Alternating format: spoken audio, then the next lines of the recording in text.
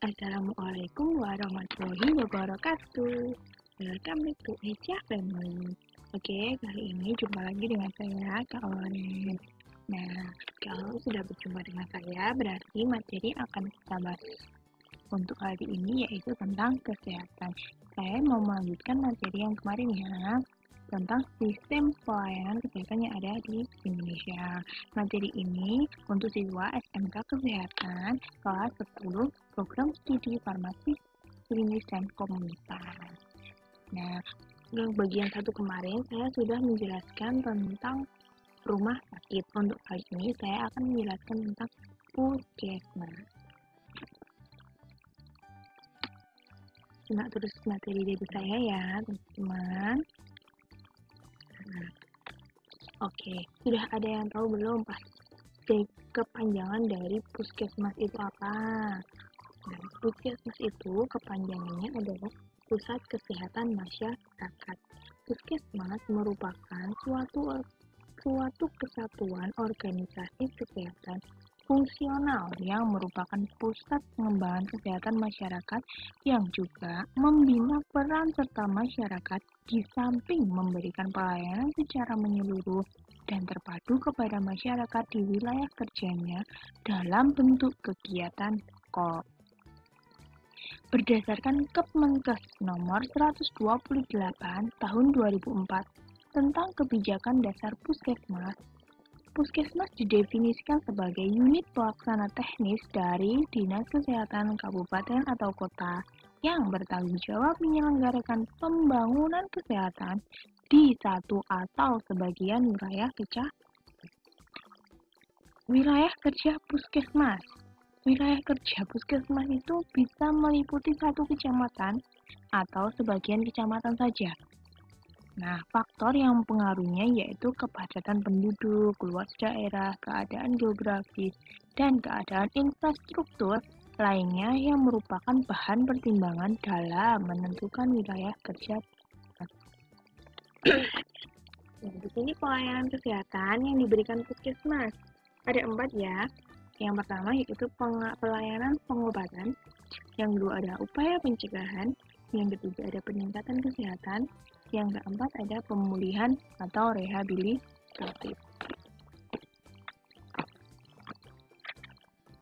Untuk pelayanan yang pertama yaitu pelayanan pengobatan atau kuratif, ya ini pelayanan yang berupa penyembuhan. Nah, penyembuhan di sini dimaksudkan adalah suatu upaya kesehatan yang dilakukan untuk mencegah penyakit menjadi lebih parah melalui pengobatan.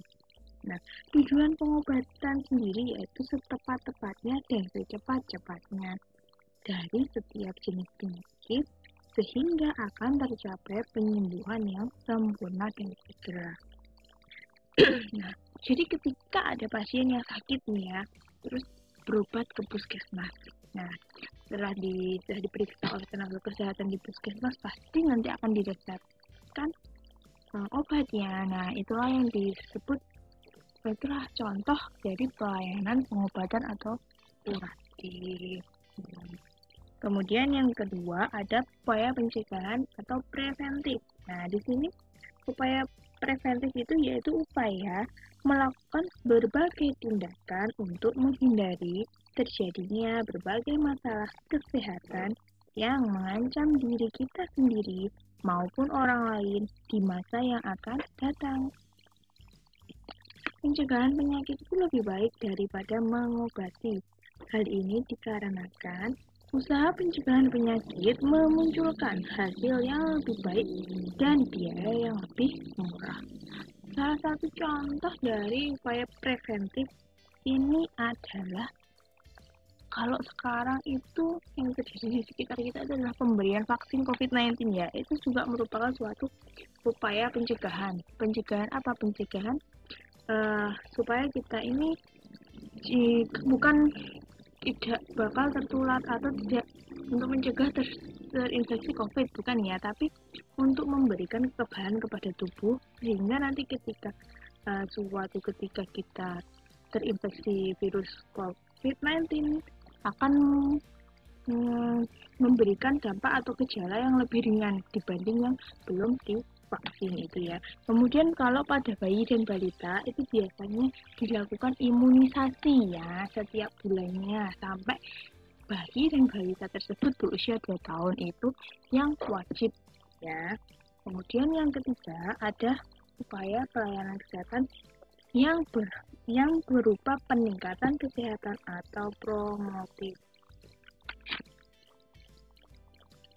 Pada upaya promotif ini merupakan tingkatan pencegahan pertama, ya. Istilahnya itu kayak promotion of health. Nah, promotion of health itu adalah meningkatkan kesehatan seseorang, yaitu dengan melalui asupan gizi seimbang, olahraga teratur, dan sebagainya, supaya tidak mudah terserang penyakit. Nah, orang tahu tentang hal tersebut dari mana? Nah, dari Biasanya itu dilakukan oleh tenaga kesehatan yang memberikan pendidikan kesehatan kepada individu, kelompok, atau masyarakat dalam meningkatkan kemampuan dalam meningkatkan perilaku untuk mencapai kesehatan secara optimal.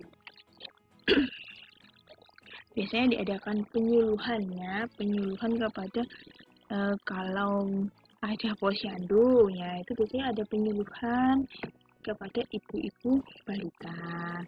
Itu posyandu balita ada juga posyandu lansia. Itu nanti juga akan biasanya ada dilakukan penyuluhan kepada para lansia. Terus yang keempat yaitu pemulihan kesehatan atau rehabilitatif. Rehabilitatif itu yaitu suatu upaya maupun rangkaian kegiatan yang ditujukan kepada bekas penderita atau pasien yang sudah tidak menderita penyakit agar pasien tersebut dapat berinteraksi secara normal dalam lingkungan sosial. Next ya. Nah, ada tujuan dan fungsi puskesmas. Tujuannya puskesmas yaitu mendukung tercapainya tujuan pembangunan kesehatan nasional, yakni meningkatkan kesadaran, kemauan, dan kemampuan hidup sehat bagi setiap orang yang bertempat tinggal di wilayah puskesmas. Yang kedua ya berikutnya yaitu fungsi puskesmas. Untuk mencapai tujuannya, puskesmas memiliki tiga fungsi, yaitu yang pertama, pusat penggerak pembangunan berwawasan kesehatan. Yang di sini kegiatannya berupa A. Upaya untuk menggerakkan dan memantau penyelenggaraan pembangunan lintas sektor, termasuk oleh masyarakat dan dunia usaha di wilayah kerjanya agar berwawasan serta mendukung pembangunan kesehatan. B. Aktif memantau dan melaporkan dampak kesehatan dan penyelenggaraan setiap program pembangunan di wilayah kerjanya. C. Mengutamakan pemeliharaan kesehatan dan pencegahan penyakit tanpa mengabaikan penyembuhan dan pemulihan. Nah, yang kedua, fungsinya sebagai pusat pemberdayaan masyarakat yang berupaya agar masyarakat satu memiliki kesadaran, memiliki kemauan dan kemampuan melayani diri sendiri dan masyarakat lain untuk hidup sehat. Kemudian yang kedua, masyarakat bisa berperan aktif dalam memperjuangkan kepentingan kesehatan termasuk pembiayaan. Yang ketiga, ikut menetapkan, menyelenggarakan, dan memantau pelaksanaan program kesehatan. Fungsi yang ketiga yaitu sebagai pusat pelayanan kesehatan strata pertama yang berupa menyelenggarakan pelayanan kesehatan tingkat pertama secara menyeluruh, terpadu, dan berkesinambungan melalui pelayanan kesehatan perorangan dan pelayanan kesehatan masyarakat. Yang materi berikutnya yaitu fasilitas pendukung puskesmas. Yang pertama ada puskesmas pembantu. Yang kedua ada puskesmas keliling. Yang ketiga ada bidan desa. Puskesmas pembantu di sini merupakan unit pelayanan kesehatan yang sederhana dan berfungsi untuk menunjang serta membantu melaksanakan kegiatan-kegiatan puskesmas dalam ruang lingkup wilayah yang lebih kecil. Jadi biasanya puskesmas pembantu itu terletak di e, desa yang lokasinya itu jauh dari puskesmas induk itu jadi masyarakat tuh terlalu jauh untuk menjangkau ke puskesmas induk jadi didirikanlah puskesmas pembantu. Kemudian yang kedua ada puskesmas keliling. Puskesmas keliling adalah unit pelayanan kesehatan keliling yang dilengkapi dengan kendaraan bermotor roda 4 atau perahu bermotor dan peralatan kesehatan, peralatan komunikasi, serta sejumlah tenaga yang berasal dari puskesmas. Fungsi puskesmas keliling tersebut adalah untuk menunjang dan membantu melaksanakan kegiatan-kegiatan puskesmas dalam wilayah kerjanya yang belum terjangkau oleh pelayanan kesehatan. Kegiatan puskesmas keliling sendiri antara lain yaitu memberikan pelayanan kesehatan kepada masyarakat di daerah terpencil yang tidak terjangkau oleh pelayanan puskesmas atau puskesmas pembantu empat hari dalam satu minggu.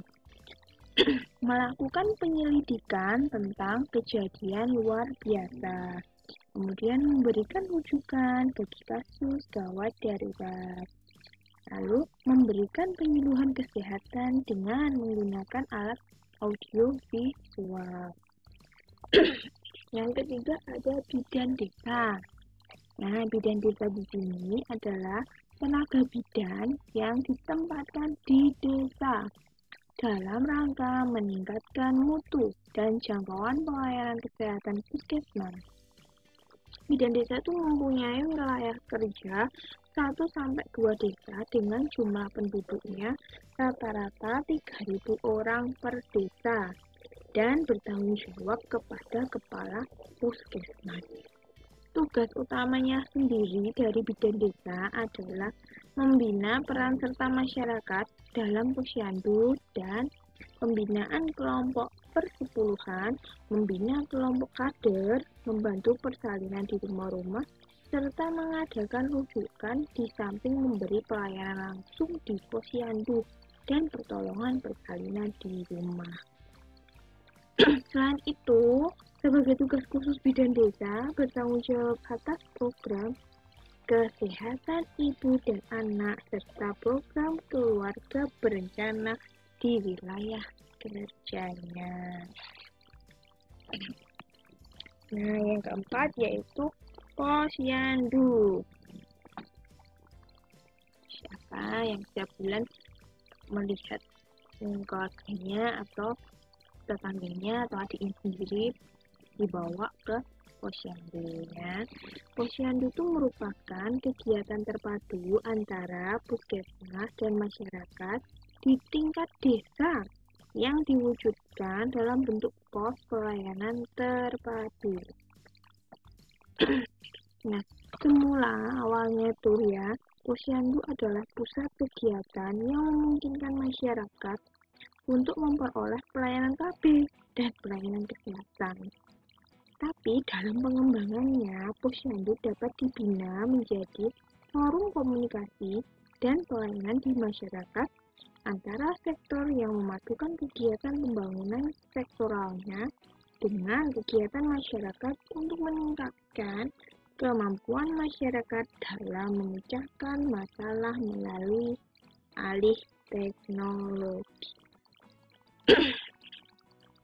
Satu posyandu sebaiknya itu melayani sekitar 100 balita atau kurang lebih 120 kepala keluarga. atau juga sesuai kemampuan petugas dan keadaan setempat. Tujuannya apa sih posyandu itu? Posyandu itu tujuannya yang pertama, mempercepat penurunan angka kematian bayi dan balita serta angka kelahiran mempercepat penerimaan norma keluarga kecil bahagia dan sejahtera atau NKKBS.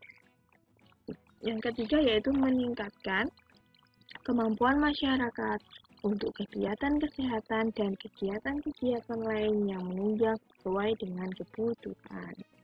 Sasaran posyandu antara lain ibu hamil beresiko tinggi. Yang pertama. Yang kedua ibu menyusui. Yang ketiga bayi. Yang keempat balita. Yang kelima ada pasangan usia subur atau pus. Nah berikutnya yaitu kegiatan pokok puskesmas kegiatan pokok puskesmas dapat dilaksanakan oleh sebuah puskesmas akan berbeda-beda di semua itu tergantung kemampuan tenaga maupun fasilitas yang ada. Namun, kegiatan pokok puskesmas yang seharusnya dilaksanakan adalah sebagai berikut. Ada delapan belas ya. Yang pertama yaitu meliputi kesejahteraan ibu dan anak. Yang kedua ada keluarga berencana. Yang ketiga usaha pendidikan. Yang keempat kesehatan lingkungan. Yang kelima, pencegahan dan pemberantasan penyakit menular. Yang keenam, pengobatan termasuk pelayanan darurat karena kecelakaan. Yang kedelapan, kesehatan sekolah. Yang sembilan, kesehatan olahraga. Yang ke-10 ada perawatan kesehatan masyarakat, lalu ada kesehatan kerja, kemudian kesehatan gigi dan mulut, ada kesehatan jiwa, kesehatan mata, laboratorium sederhana, lalu pencatatan dan pelaporan dalam rangka sistem informasi kesehatan, lalu kesehatan lanjut usia, yang terakhir pembinaan pengobatan tradisional. Nah, pelaksanaan kegiatan pokok puskesmas diarahkan kepada keluarga sebagai satuan masyarakat terkecil. Ya, setiap kegiatan pokok puskesmas dilaksanakan dengan pendekatan Pembangunan Kesehatan Masyarakat Desa atau PKSD. Oke, sekian materi puskesmas hari ini ya. Thanks for watching. Jangan lupa untuk like, komen, dan subscribe channelnya Aisyah Family. Wassalamualaikum warahmatullahi wabarakatuh.